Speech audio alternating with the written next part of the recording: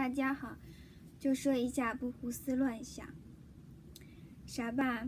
嗯，比如说想杂七杂八的事情是胡思乱想，想一些啊莫名其妙逻辑的事情也算胡思乱想，想自己之前见到的、看到的，其实人有这种习惯，就是他看到什么、听到什么。他下意识的就会去想，他去评判。有的时候你自己不知道，其实你意，其实你这就是你的意识习惯，那只是你意识不到。但偶尔做梦的时候，你还会梦到这个事情，那就是其实你在想，你在给反馈。人就是这样，也很正常。可是我们不能够没有了智慧，没有理智。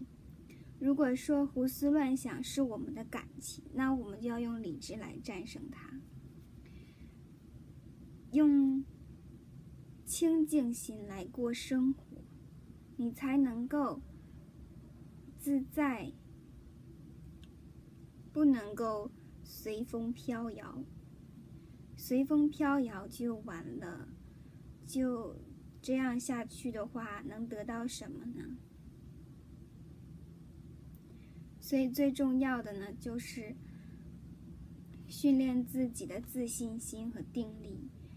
有什么事情的时候呢，不用去第一时间马上给出反应，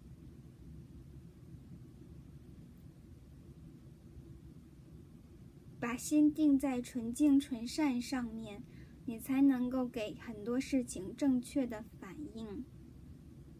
这个要自己一点点的实践。靠戒律去做，加油！